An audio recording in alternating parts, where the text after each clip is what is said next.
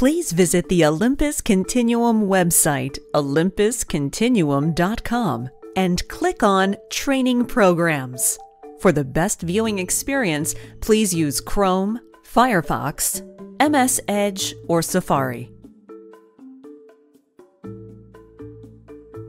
Select Sign Up if you enter the platform the first time.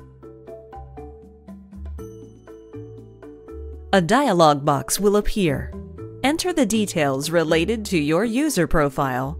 View and accept the Olympus Declaration of Consent as well as the terms and conditions, and click Next.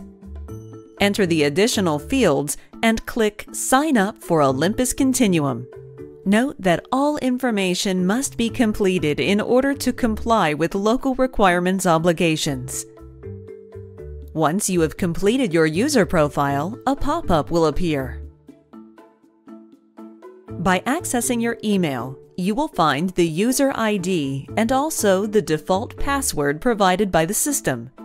To complete the registration process for your user profile, please select the link from your email or copy it into your browser address bar.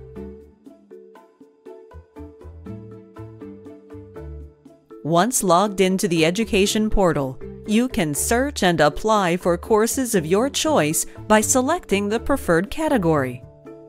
Don't miss out on the best educational materials by browsing our on-demand library. In order to enroll and submit your application, you should select an application. After you have selected it, a pop-up will appear. Select Start to begin the assessment. Note that it will only take you three minutes to fill out the application.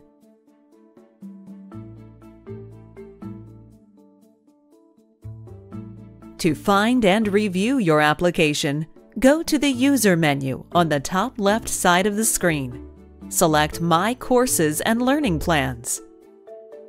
Select the desired application and submit your answers.